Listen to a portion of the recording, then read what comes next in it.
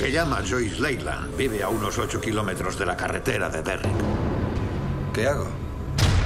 Ve allí y habla con ella. Trátala del modo más amable y profesional que puedas.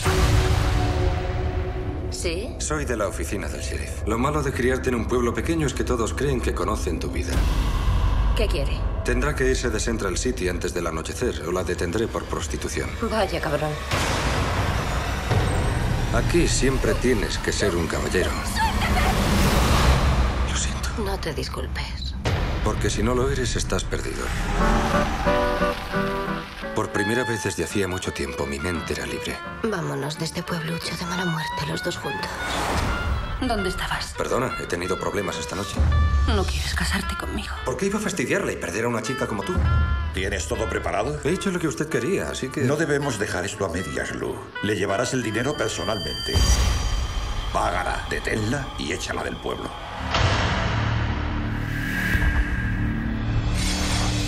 Tengo un pie a cada lado del muro. No puedo moverme, no puedo saltar. Lo único que puedo hacer es esperar a partirme en dos. Justo por la mitad. Está muerta, Lou. ¿Qué has hecho estas últimas semanas? Crees que lo sabes todo, ¿no es cierto? Y por eso sonríes. Lo absurdo es que parece que no tengas condiciones para ser un asesino.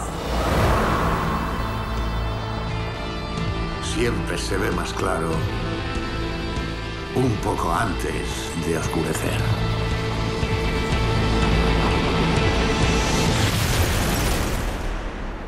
Espera, ya casi está.